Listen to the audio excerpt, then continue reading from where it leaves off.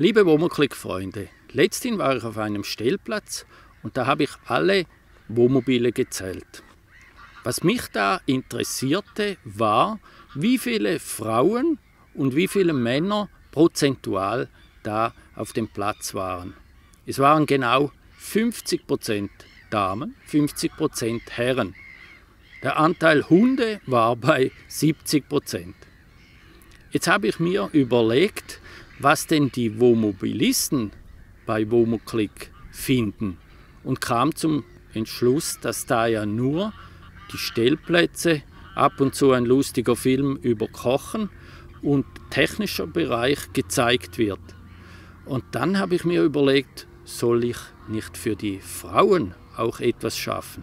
Dann kam mir die Idee, man könnte eine Rubrik erfinden oder dazulegen mit dem Namen Wohnmobil und die Frau.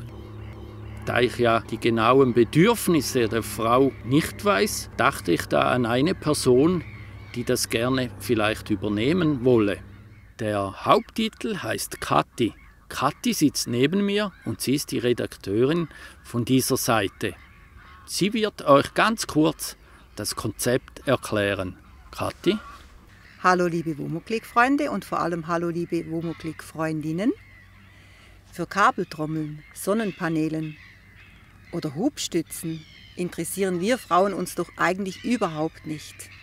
Uns interessiert, was hat der Nachbar für eine Einrichtung im Wohnmobil, was benutzt er für Pfannen, welche sind sinnvoll zu benutzen, was hat er für Gläser, sind die aus Echtglas oder Plastik oder wie gehe ich zum Beispiel in die Stadt, nehme ich einen Rucksack mit oder eine Handtasche.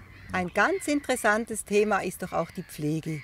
Die Pflege im Wohnmobil und die Pflege an uns selbst.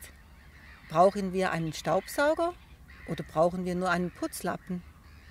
Bin ich im Wohnmobil leger und bin in zehn Minuten vor dem Spiegel fertig? Oder brauche ich eine Dreiviertelstunde wie zu Hause, bevor ich das Wohnmobil verlassen kann? Das sind alles Themen, die uns Frauen viel mehr interessieren als technische Sachen. Genau über solche Themen möchte ich bei Womoclick für uns Frauen schreiben. Die ersten paar Beiträge sind schon online. Lest sie euch doch. Ich freue mich über Feedback. In diesem Sinne, wir lesen uns. Eure Kathi.